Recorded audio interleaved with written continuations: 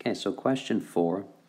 As a holding company owner, you have agreed to a promissory note of 70,000 dated December 24th for a six month term at 10%.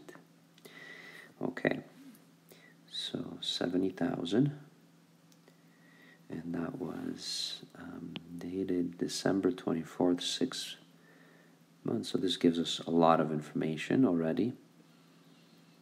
Um, so how much is the note valued at on April 11th, 2019 if money's worth 4%? Okay, so this is going to be kind of uh, two steps. So let's draw our timeline here, just so that we can see what's happening. And this was um, 2018. That was towards the end of 2018, so December the 24th. Okay, and this was for 70,000. Okay, so the rate for the note is 10%. All right, and now, so it's six months. So that's going to be 2019. So from December, six months. So I guess that's going to be June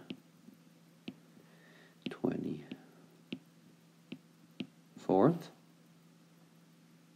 Okay. And so what we're going to do is we're going to shift this over here.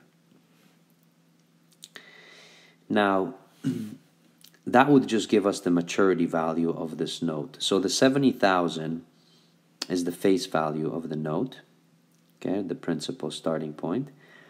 And then at 10%, we can find out how much that note would be on the end. Now, it does say we want to know how much it's valued on April 11th. So April 11th is actually, so somewhere here. Okay, so we're going to have to try to bring this back. Okay, that will be our second step. Okay, but we're going to be bringing it back and the rate money's worth is 4%.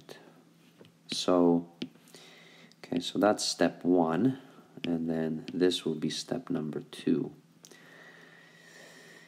Um, so again, we need to know the the days here. So December 24th, so hold on, 2018 and 2019. Okay, so still no leap year. So let's go back to the calendar. So December 24th, so that's, okay, that's right here. So 358. Okay, so that's 358. Okay, so that's this. Let's just find out all the all the dates. April 11th. Okay, so um, April 11th. Okay, so that's 101st day. So 101st day. And then June 24th. Um, so June, oh, 24th, it's just like the other one. So that will be 175. Okay, so we have, so this is 175th day. All right, so let's, um, so I'm going to go back to the blue. Okay, so we're going to move it forward, and therefore we're going to use the future value formula for this one. So we know it is 70,000, 1 plus. So the rate is 10%. Now we want to know, okay, so T. Um, so here on the side, so 2018. Okay, so we have 365 days minus 358. Okay, so that's seven days. Okay, in 2018 and then 2019 we're moving it all the way to June 24th so that's 175 so in total we have 182 so 182 divided by 365 okay so that's what the maturity value will be of this note. Okay so let's do that. First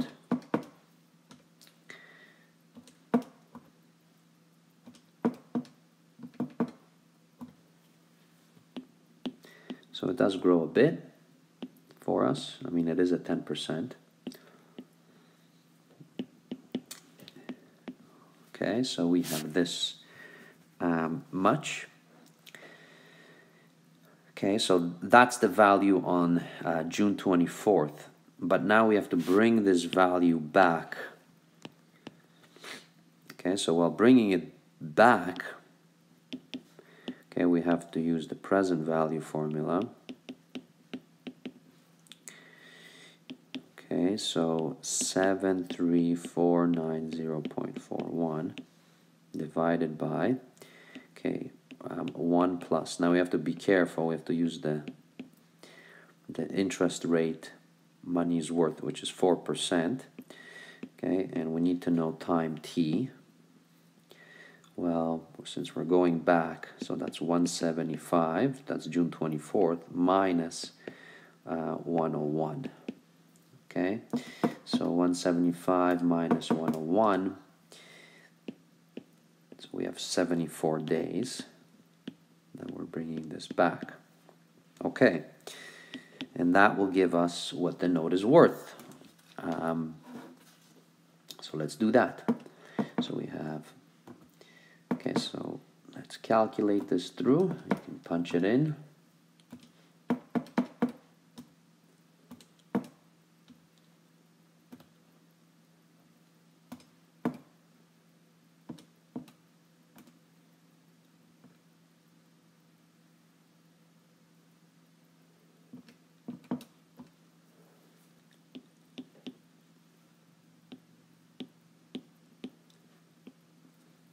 Right? So round it to the penny. Okay, and that's how much this note would be worth. Okay, on April 11th. So yes, you got to go and do these two steps in order to do this question. Okay, so I hope that um, that helps. And that's it.